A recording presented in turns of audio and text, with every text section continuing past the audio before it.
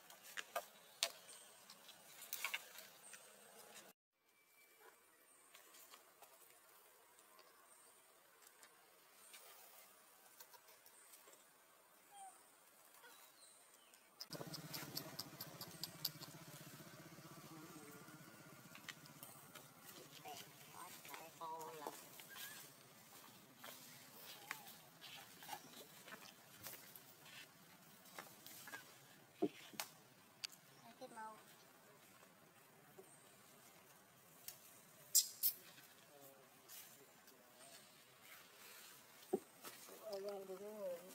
Uhum.